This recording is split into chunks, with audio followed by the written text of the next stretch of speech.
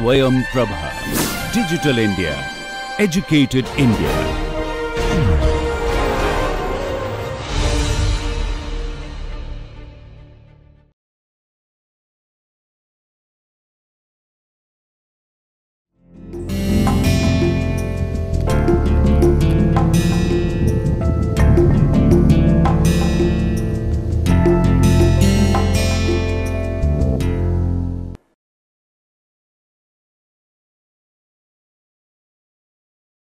Hello, uh, welcome to all of you on this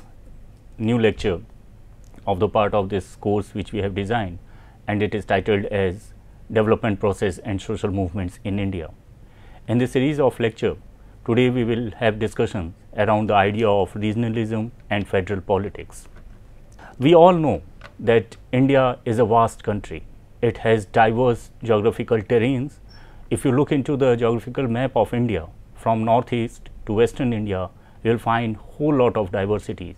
If on the one side you have hilly states like Meghalaya and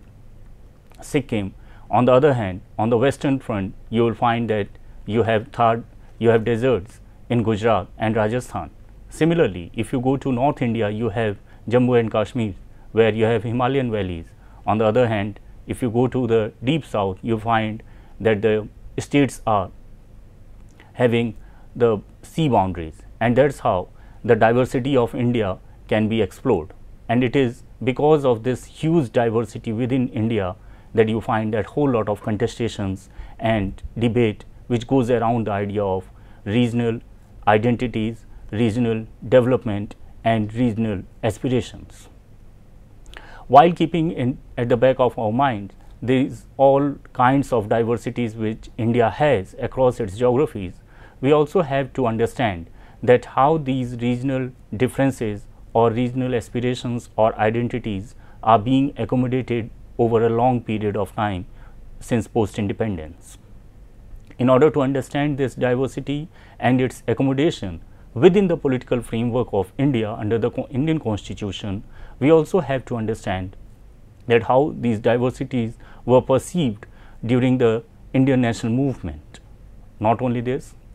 we also have to highlight that how these differences which were understood in a particular framework before the independence, it got a new slant post independence under the Nehruvian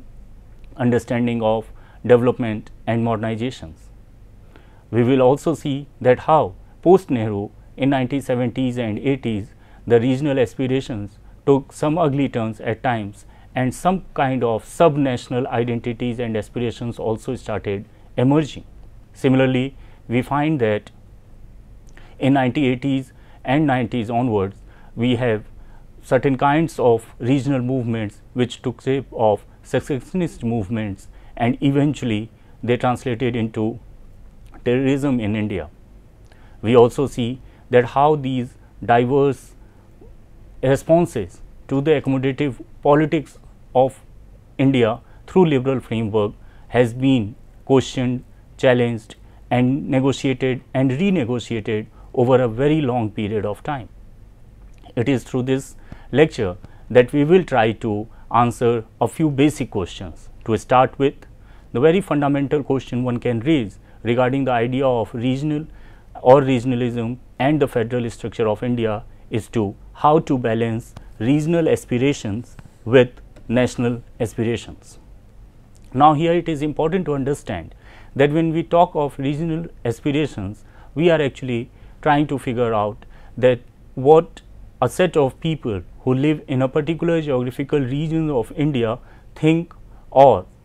aspire to be in terms of their relationship with the center, in terms of their relationship with the larger framework of idea of one community that is national community or India as a nation. Similarly, when we think or talk about the idea of nations, we always have this understanding that nation is one community which has a few commonalities including shared past, shared cultural practices, shared linguistic practices. If we try to apply these kind of frameworks or characteristics of national identities, then we find that there are whole lot of exceptions within this in terms of lots of diversity both in terms of cultural practices, linguistic as well as common historical past. In that context, we have to figure out then how the regional disparities or regional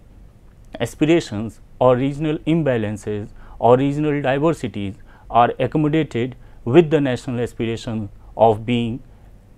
India as one nation. Similarly, another interesting question to be raised in this context is that whether this whole framework of balancing between the regional and the national needs to be understood within the framework of cooperation between the region and the nation or the center or in terms of contradictions. Can regional aspiration go ahead with the idea of national aspirations? Are they necessarily contradictory in nature? We will try to explore and figure out the answer to this question too. Similarly, another important question to be raised in this context is what constitutes the inherent tensions between the two? Now, this question has an inherent assumption involved and that inherent assumption is that there is some or there are some inherent contradictions within the idea of regional aspirations and the national aspirations. In order to have the broader understanding of this whole framework of regional aspirations, identities and issues with the national aspirations and how these two are accommodated through the Indian constitution and federal structures provided by the Indian constitution, we need to first figure out how India understood this issue and has tried to resolve this issue before the independence and after the independence. During the early years after independence, following the partition and merger of what were native states. Now, we can recall that immediately after the independence, the huge challenge for India was to assure that once the Britishers are going to leave, the rest of the land is intact. And it was under the tremendous pressure which was building across the borders in terms of the demand for new land which emerged in the form of Pakistan. And it was in that context that a few native princely states were also demanding or asking for their separate land.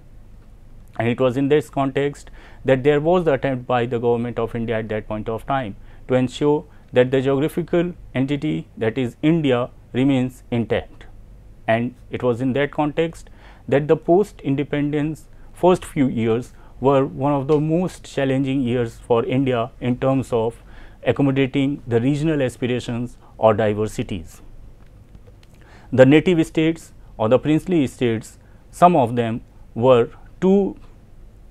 determined to separate their own entity or identities from the national identity of India. If we go into the past, during the British colonial rule,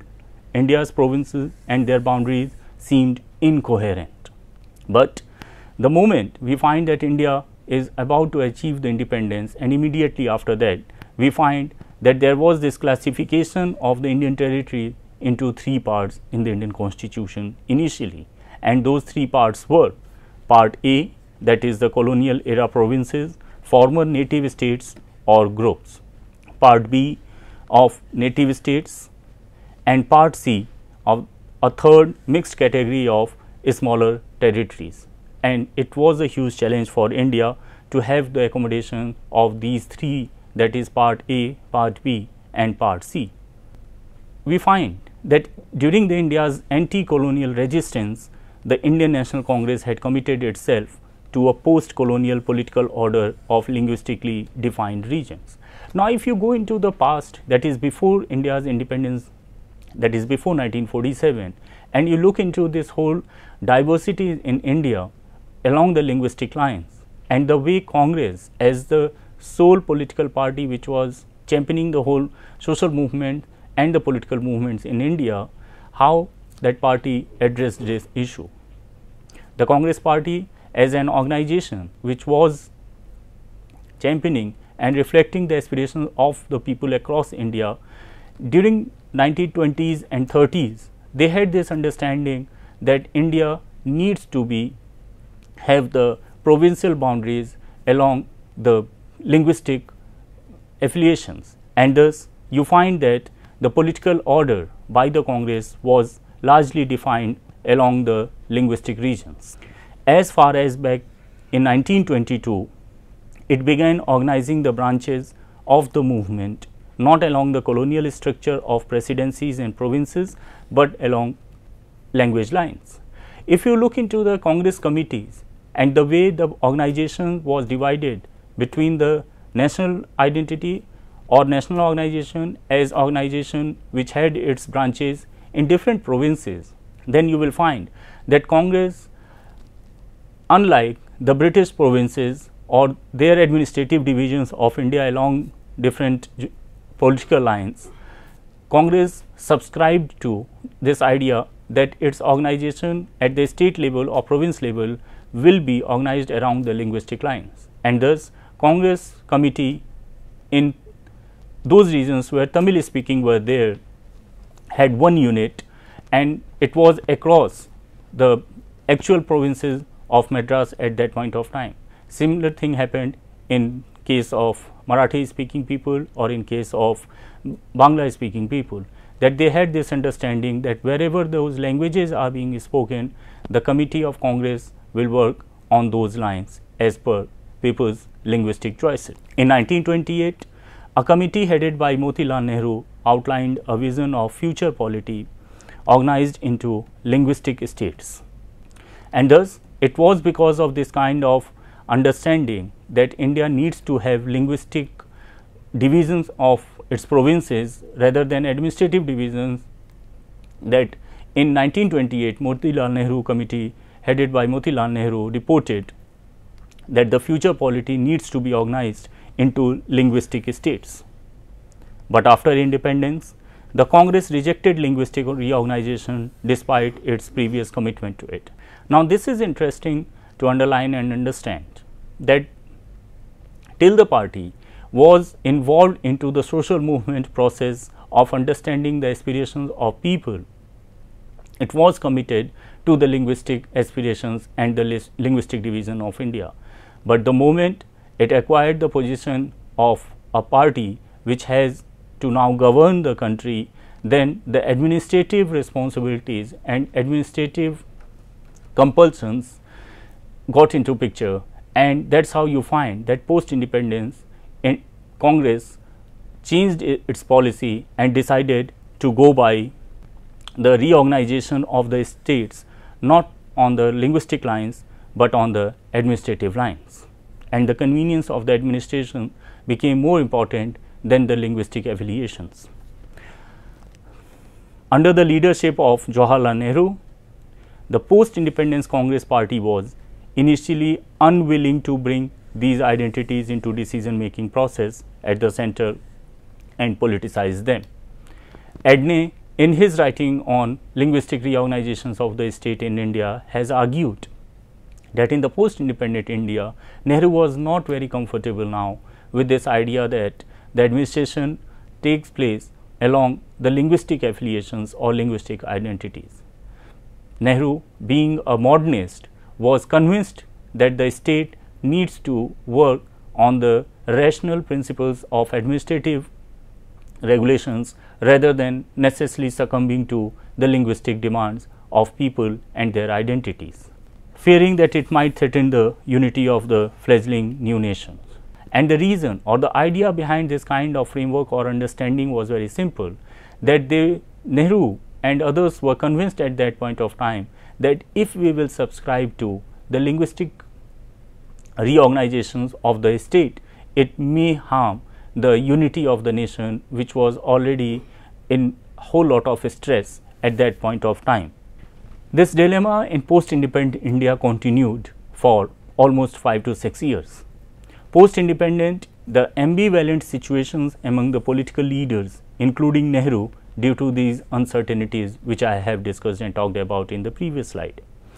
And around this idea of reorganization of the state, the fear of the disintegrative consequences were continuously looming over the political leadership in India.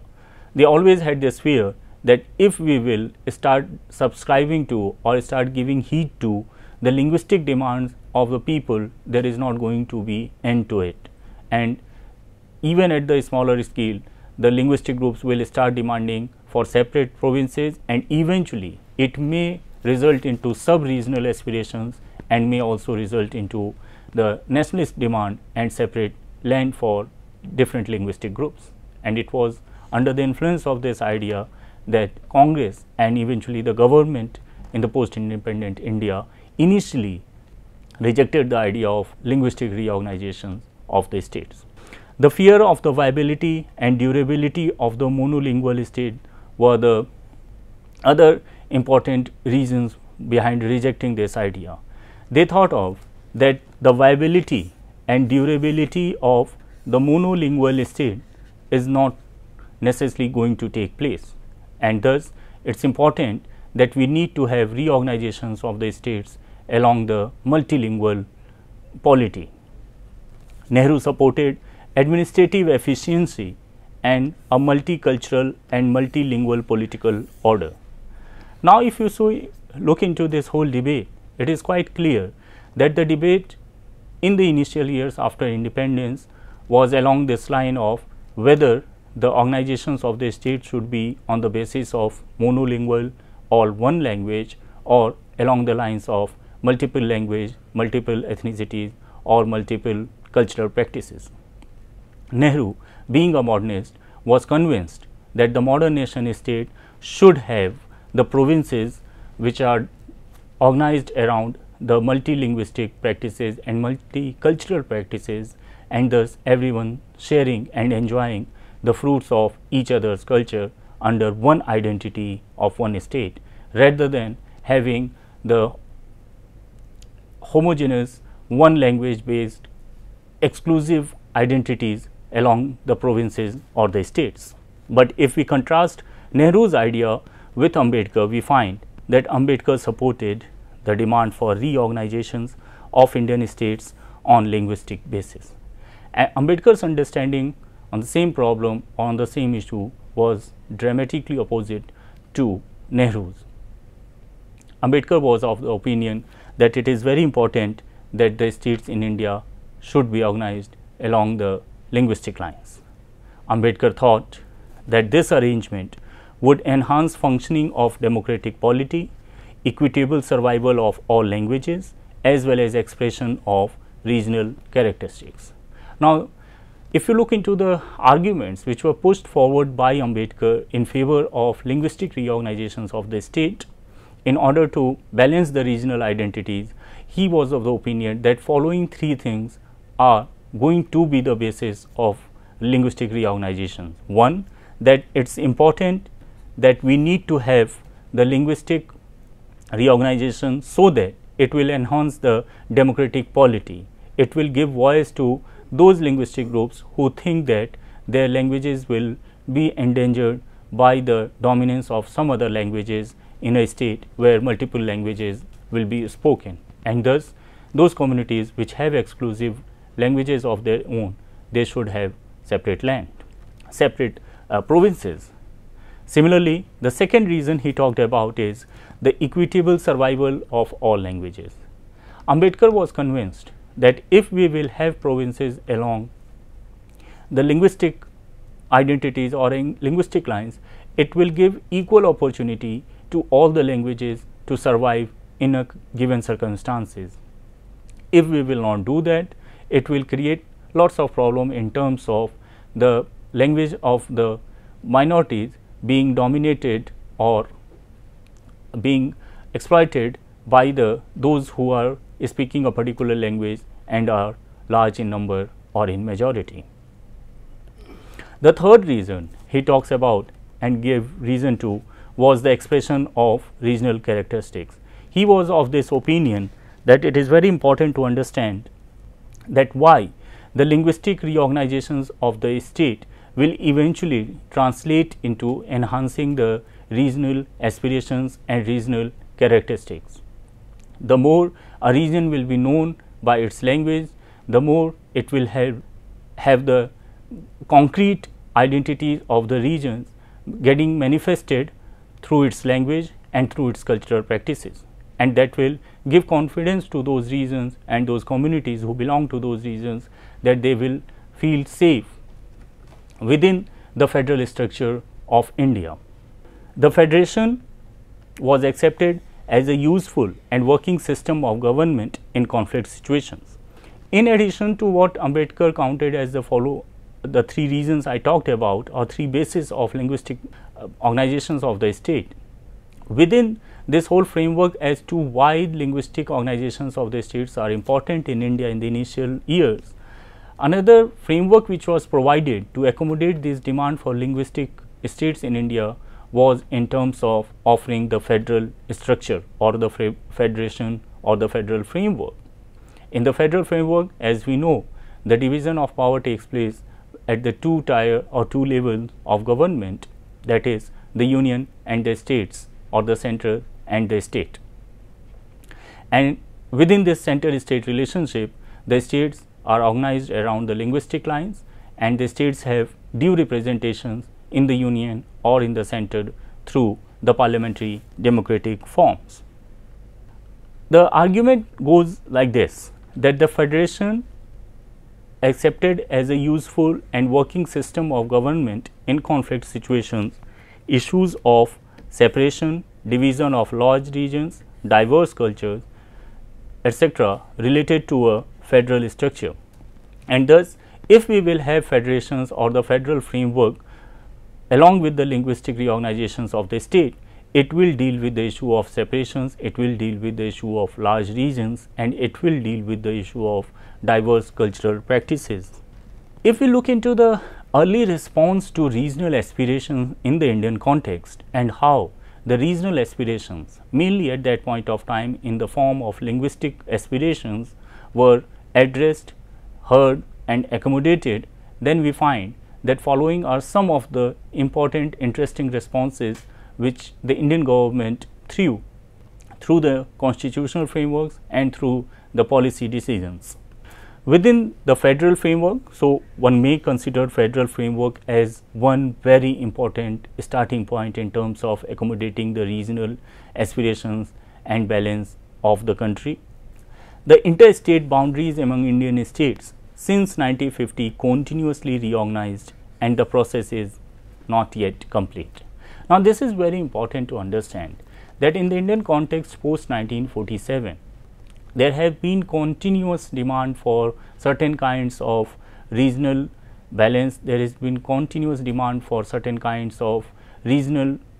politics to be heard at the center level. Similarly, the regional aspirations and the demand for addressing some of the historical injustice met to the certain regions of India that continuously those demands are being accommodated and heard by the center and you find and if you look into the number of states which have been formed in last 7 decades it is testimony to the fact that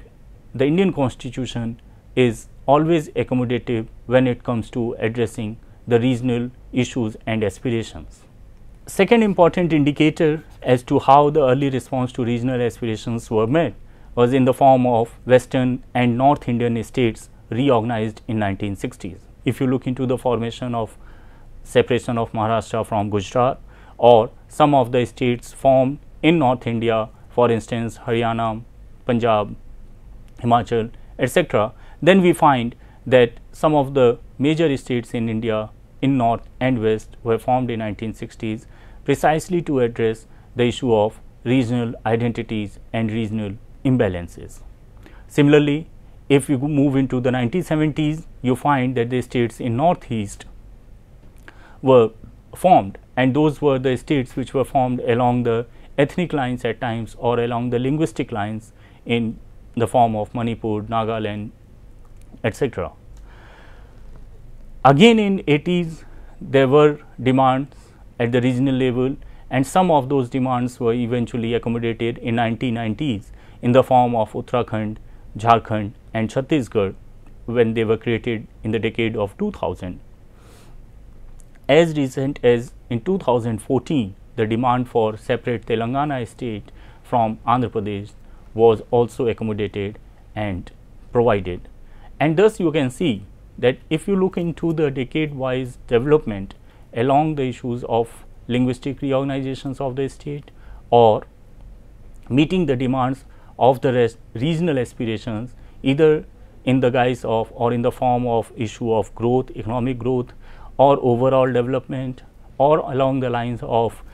uh, identities along Adivasis or identities along the ethnic groups, then you find that the Indian state and the Indian constitution has continuously addressed this issue time and again through different accommodative practices including redrawing the boundaries of the provinces. The Indian constitution makes breaking up and creating new states relatively easy. While this might have allowed the accommodation of regionalism in some cases, it also provides incentives for political projects built around alternative regional narratives. Now, there are two things important to understand in this last point I have mentioned that while on the one hand Indian constitution makes breaking up and creating new states relatively easy, we know that the, it is very easy as per the constitutional framework provided regarding the redrawing of the boundaries of the provinces or the states in India that it is relatively easier to by very simple majority that a new state can be formed or carved out of the existing state. It has two sides to it. On the one hand, through this process, it has accommodated the regionalism, the issue of regionalism and thus created some kind of balance between centers and states. But on the other hand, this easy solutions to the demands of the regional aspirations has also led to certain kinds of incentives for political projects and thus you find that many regional parties have emerged over a period of time with this specific demands that they want to try their hand in political arena or in the electoral politics only on the sole issue of demanding separate states. A classic example of this is the rise of TRS or Telangana Rashtriya Samiti in Andhra Pradesh where the particular party has eventually carved its space in the po politics in India through the demand for separate uh, reorganization of the state. If we look into the challenges and accommodation in the post-independent India, we find and it is in continuity of the previous uh, discussion of the slide which we are talking about that in the post-independent Indian federal structure challenged by many linguistic, religious, ethnic, regional, cultural and political ideological challenges. Now, we have to understand and keep it in front of us that if you look into the federal structure of post independent India, it was never smooth and not more so during the initial years of the independence. It was always had the challenge of linguistic identities, it had the challenges of religious diversities and thus you find the demand for Pakistan or eventually in 1980s the demand for Khalistan in Punjab or in 1960s the subnationalism of Tamil speaking people in Tamil Nadu and that is how you find that India and the Indian federal structure has always felt the stress of demand or meeting the demand of the regional identities. Similarly, the ethnic diversities and the ethnic demand in the northeast has also time and again put forward the challenges. The recent violence in Manipur is a case in point. Similarly, the regional aspirations simply in terms of the discourse of development and growth becomes very important to understand that how the regional imbalances or the regional aspirations of the people have been addressed, met or discussed so far. Similarly, the cultural differences as well as politico ideological challenges have also shaped the identity and the regional politics of India so far. In order to overcome these challenges, as we have already discussed whole lot of arrangements which India initially uh, took in order to ensure uh, that these issues are addressed, even during the Indian Constituent Assembly debate in 1948, Dar Commission was formed and our commission had the specific task of dealing with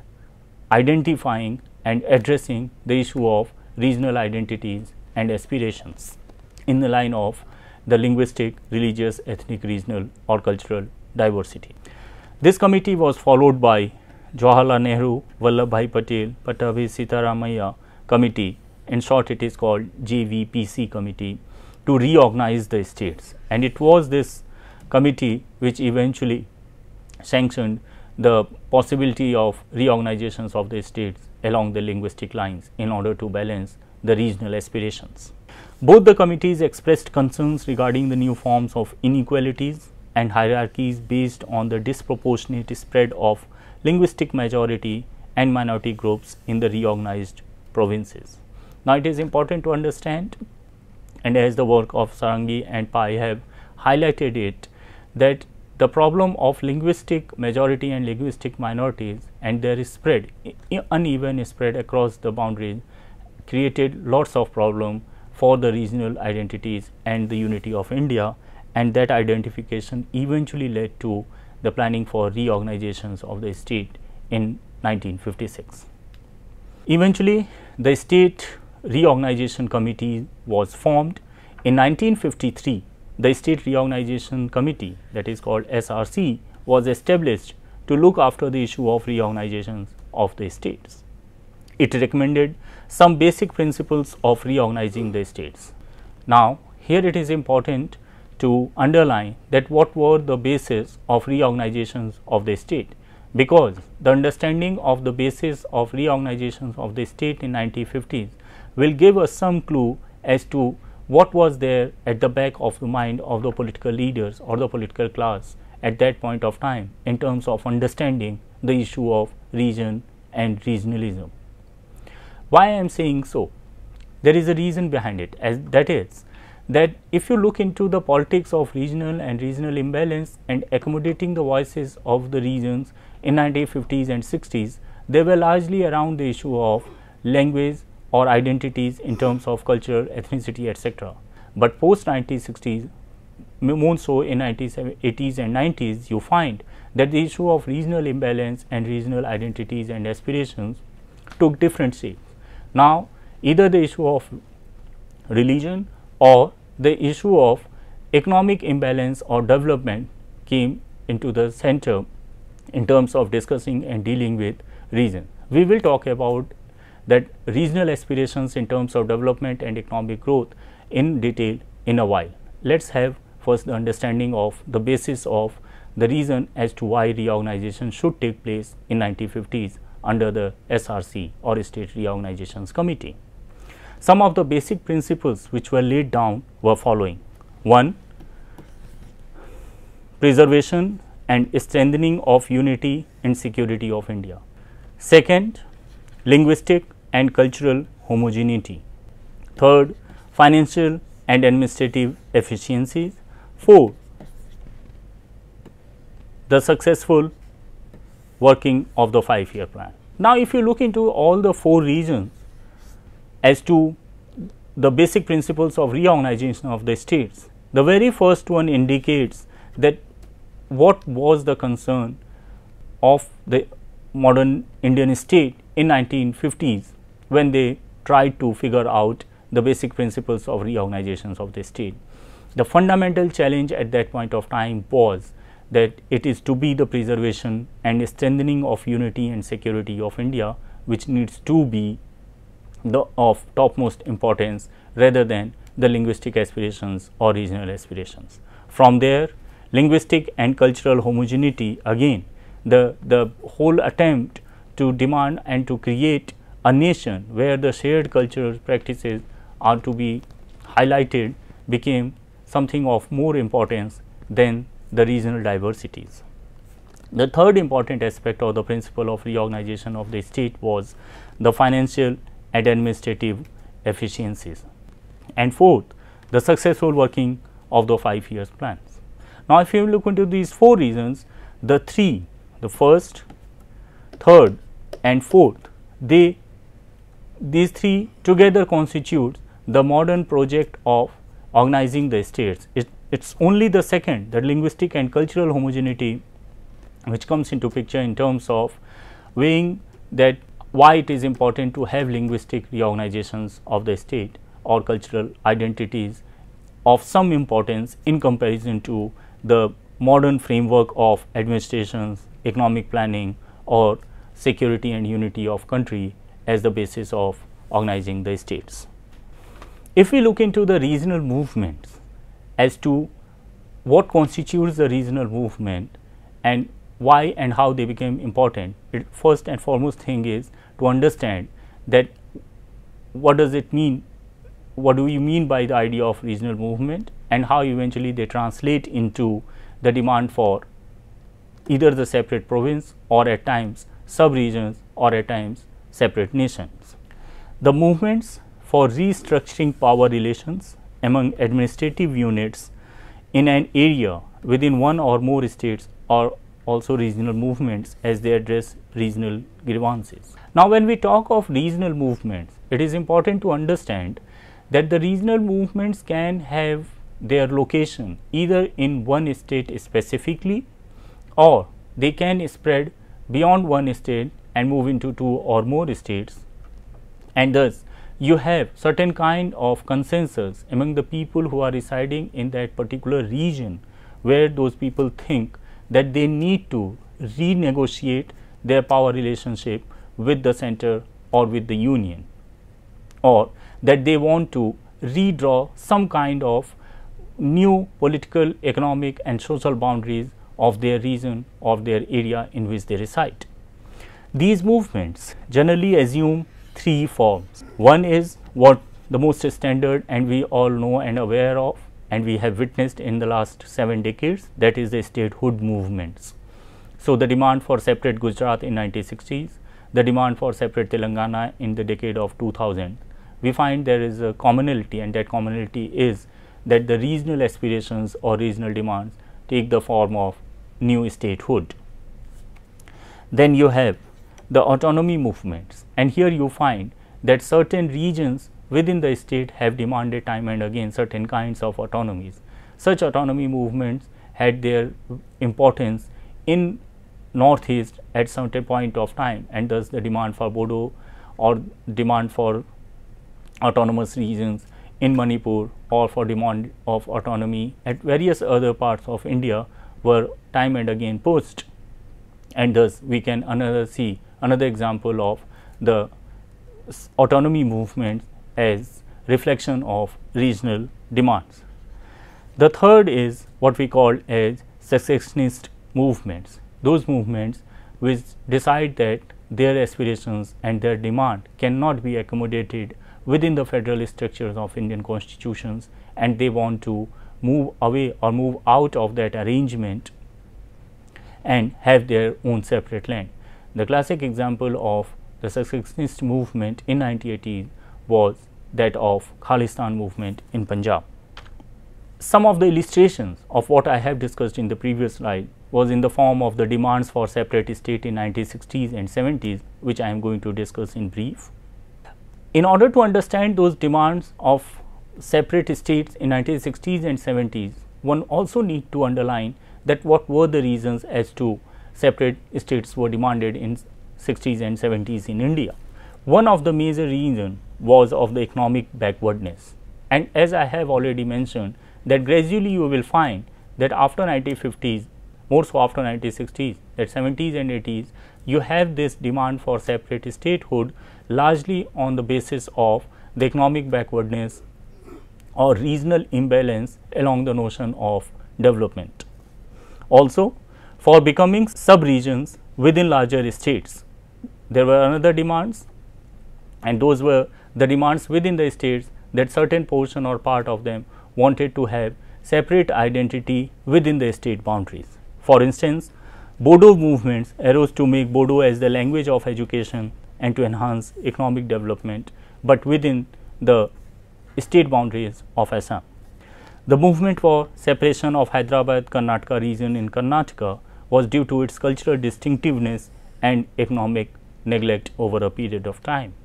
Similarly, in West Bengal, the Nepalese have been demanding a separate state of Gorkhaland due to their cultural distinctiveness and economic marginalization. Again, you will find that there is a commonality between the second case example I talked about that is the Bodo,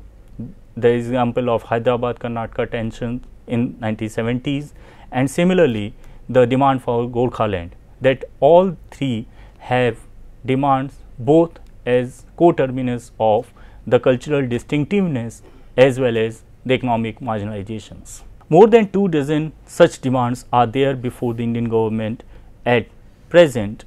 and this is going on for last more than three decades. If we look into the characteristics of the regional demands in India post 1960s and 70s, you find that there are certain commonalities and those commonalities are fundamentally different from the basis of the demand for separate regions in 1950s and early 60s. If in 1950s and 60s the demands were largely along the linguistic lines, post 1960s you find that the issues have diverse bases. All these issues give space for more demands to focus on better governance. So, better governance as one, equitable economic growth as second, increase in participative political order as third and development at the sub-regional level as four basis of demand of regional regional identity or regional balance in Indian polity can be underlined. Similarly, based on new state demands, several regional and sub-regional issues and challenges are also emerging. Now, there are two parts to this. One is in terms of the characteristics of regional demands. If you look into the characteristic of regional demands in last 3 4 decades, you find that the better governance, equitable economic growth,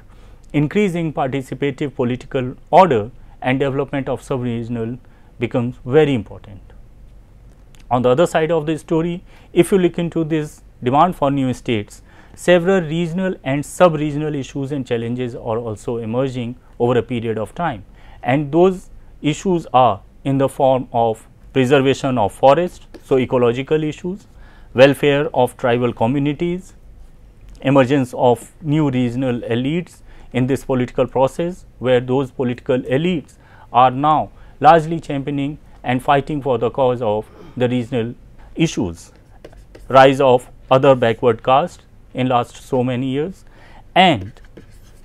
increase in the number of regional political parties within a state. Now, this is important to understand here that political parties who are standing for and championing the issues of the regional identities, they are growing in large number in last 3 decades or so. Similarly, the new leadership is also emerging through these political parties who are demanding and asking for the fulfillment of the regional aspirations. Again, I will give you the example of TRS or Telangana Rashtra Samiti. Similarly, the regional parties in Goa, regional parties in Northeast, regional parties in various other parts of India are classic example of or illustrations of the fact that if on the one hand the demand for regional states or regional aspirations are there the impact of those demands are also not confined only to the federal framework, but also in terms of their implications for political order too and thus increase in number of political parties, increase in number of participations of other backward classes into the political process and the rise of completely new set of political leaderships or no new political elites needs to be also highlighted in the process of regionalism and regional politics in India. If we look into the demand for sub-regional states, we find that as evident from the several demands for smaller states of eh, Vidarbha in Maharashtra, Saurashtra in Gujarat, Bodoland in Assam, Coorg in Karnataka, Harit Pradesh in Uttar Pradesh are some of the examples as to how the regional imbalances or the economic depravity in certain regions or the sense of pride or sense of this understanding that certain regions are well off and thus they need to be separated from not so well off regions of their own state so that they can build on their advantage in a more profound manner. Indian states consist of different linguistic, religious and cultural groups existing along with unequal level of regional development within a state. Now, this is important to understand and I will talk about this particular aspect in the next lecture while talking about the regional imbalance and economic planning. Here I just want to highlight that the Indian states consist of different linguistic, religious and cultural groups and we all are aware of the fact. What is important is to understand is that this diversity along linguistic, cultural or religious lines also combines with the economic depravity or economic marginalizations and when they both come together they form certain kind of regional aspirations and eventually translates into a particular kind of politics of regional identities. In certain contexts, these diversities become the grounds for generation of regional consciousness within a state and I have already discussed so I will not go into the detail of this point. Those having such consciousness underline that within the existing administrative arrangements their region is not given fair treatment by the state government, central government and other regions within their states. Now, this, this consciousness which emerges out of the historical depravity of certain regions within the state and their understanding that how that historical depravity translates into their not so advantageous positions in the society within the state that that consciousness translates or builds into political demands and the framework of the understanding is simple that they want to have the fair treatment by the state government, the central government and the other regions within their own states. The solution to their grievances can be found if the region becomes a separate state from the state in which such region exists. And as we know that if such kind of demands are building up, such regional identities are building up, which has the mix of both the cultural practices as well as the economic deprivations or linguistic and economic deprivations, then eventually it translates into this formulations that the solutions to their problem can be addressed through meeting the demand for the separate state. And we can take the example of Jharkhand, we can take the example of Uttarakhand to understand that how or Chhattisgarh to understand that how these issues were first put forward and then addressed eventually by the Indian constitutional framework. Statehood movements seek separate state consisting of regions from one or more existing states. And we all know that whenever these statehood start taking the shape of demand for separate statehood, eventually they start asking for the piece of uh, their territory which may are carved out of particular state or may be carved out of certain lands or uh, territories from their joining states too. And the example regarding this can be taken from the demand for greater Nagaland in northeast. Similarly, autonomy movements like statehood movements also want administrative autonomy to run their affairs. Unlike the statehood movements, they do not want a separate state of out of an existing state, rather they want autonomy within the existing states. Now, here we can think of the demand for Bundelkhand region having separate autonomous region within the Uttar Pradesh or certain other autonomy movements which are going on in India in terms of demanding their own existence within their own existing state. Secessionist movement unlike the statehood or autonomy movements seek to secede from the Union of India and get a sovereign state. It is important to note that while Indian constitution has provisions for creation of separate states and autonomy within the states, it does not permit succession. Going into the reasons for the rise of regionalism in India, we find that grievances in the regions of multiple kinds are the reasons as to why the rise in regionalism can be seen in the context of India.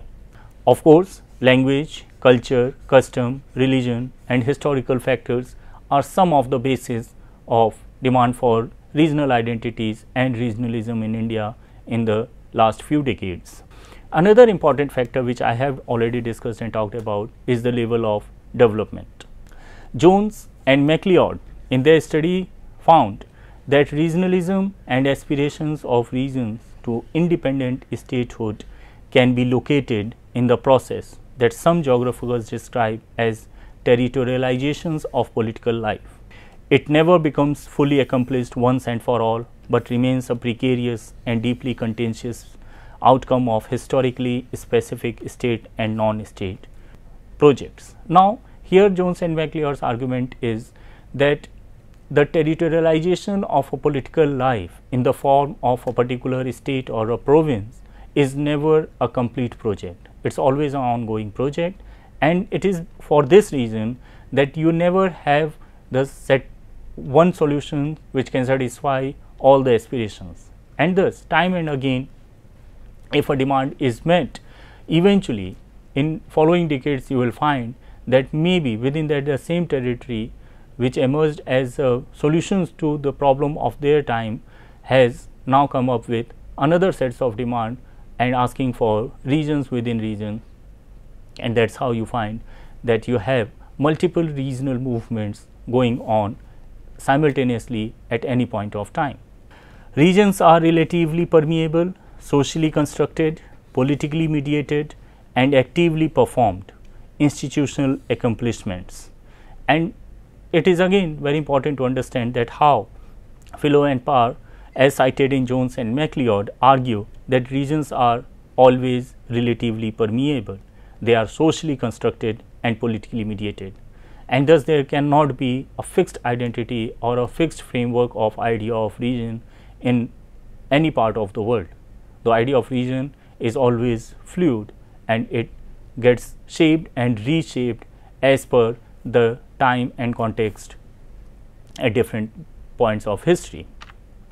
If we look into the role of political parties in regional movements, we find that the response of political parties have been informed by political expediency and they have been shaped by political contexts. And thus, if we try to establish any kind of link between the political parties and regionalism or regional demands, we find that there is certain kind of framework within which these political parties work when it comes to demand for regional aspirations. Those nationalist parties which are more inclined towards their aspirations to be known as national parties they not necessarily adhere to or hear the demands for regional aspirations, but on the other hand those small political outfits who are trying to figure out their their future in the political arena they may very forcefully back the demand for the regional aspirations. At times they start their political career in terms of initiating the demand for regional aspirations. Generally movements for statehood become more frequent and intense in the times of elections, political competitions and factionalism within the parties. And this is a classic example as to how you see that the demand for regional separations or demand for fulfillment of regional identities or statehood gains currency during the elections and it becomes very intense in the times of elections, political competitions and factionalism within the parties. The parties have been supportive to such demands when they were in opposition, but have been opposed them when in power. Now, another interesting aspect is that when those parties are in opposition, they may demand for a separate statehood or separate regional identities, but they themselves are in power, they may not necessarily entertain those issues. Similarly, even the response of the national and local leadership of principal political parties varied depending on the caste groups which were raising them. So, maybe national leadership has different opinion in comparison to the local leadership of the same national political party when it comes to regional issues. Except the movement for creation of Telangana and Jharkhand, demand for other states such as Chhattisgarh, Uttarakhand and Harit Pradesh generally lacked popular mobilizations. And now this is interesting that we do not hear much about the Harit Pradesh or the issue of even when the movement for Telangana, Jharkhand, Chhattisgarh, Uttarakhand were going on that the demand for Chhattisgarh or Jharkhand was not very strong on the ground, but it was because of certain political compulsions or the choices of certain national political parties at that point of time that the demands for smaller states were met and that is how these states came into picture. And if we see minutely we find that those demands were made more by the professional politicians through seminars on the floor of the house and passing resolutions.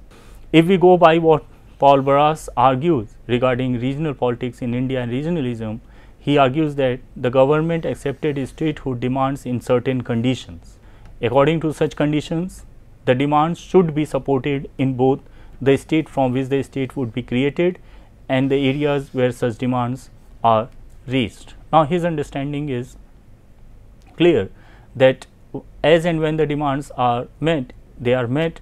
basically th in those conditions where the separation is being met by both or being fulfilled and supported both by those regions which are asking for separate land and those part of the same state who have to share their part of the land with the other states which is about to be created. If we look into the contested regional identities, the contested regional narratives include that of Bodos in Assam, while the Bodos appear to have settled for compromise in the form of Bodoland territorial autonomy, the Bodo narrative fundamentally challenged the Assamese construction of Assam. Thus, we find also some types of contradictory phenomena too. If we look into the whole demand for the contested Bodoland, we find that certain kind of compromise is also met in the form of Bodoland territorial autonomous councils, which not necessarily is settling with the separate state, but for certain kind of autonomous region within Assam. On the other hand, Meiteis and Nagas have diametrically opposite views about Manipur's past, present and future. And as I have said, the recent violence gives us the glimpse of that tension which is going on in India. If we look into the reason as to why regional movements as separate nations have not succeeded in India, then there is this interesting formulation and it is following that the regional or self-determination movement in India are said to have followed an inverse U curve and that is that the heightened mobilization of group identities are followed by negotiations and eventually such movements decline as exhaustion sets in, some leaders are repressed, others are co-opted and a modicum of genuine power sharing and mutual accommodations between the movement and center state authorities is reached. Going by Sanjib Baruah's these formulations, I can draw this picture like that the separate regional movement as separate nation starts like demand for this, it reached its height but after that the exhaustion starts setting in in the leadership the leaderships are repressed and that is how they start movement start going down and eventually the power sharing is arranged between those who are demanding for separate state and those who were trying to accommodate those voices. Consensual accommodations of regional voices over a period of time have been accommodated and that is how the regional movements have acquired certain kinds of legitimacy through the accommodations within the constitutional framework. With this, I will end my lecture. I am sharing a few suggested readings with you. You may go through it for have the in-depth understanding of the topic. Thank you.